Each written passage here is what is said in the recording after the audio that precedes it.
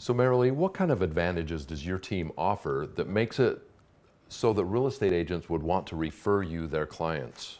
Um, yeah, we are really particular about how we handle our clients and our agents too, because we want to make sure that they get the best experience they've ever had.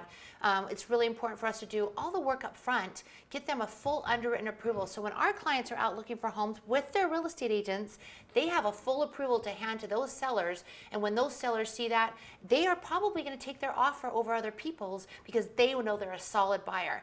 That makes it seamless for the client, seamless for the real estate agent, and then they get to closing and they're excited about it. It wasn't something where they're pulling teeth or having a roller coaster ride. We made it smooth sailing for them the whole way.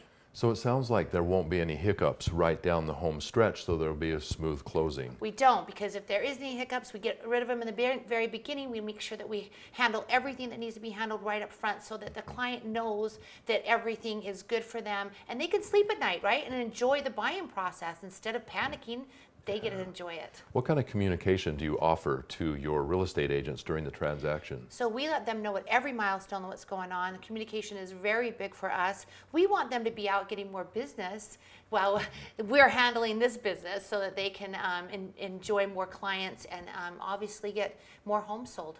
Sounds like you've got a great system. We got it.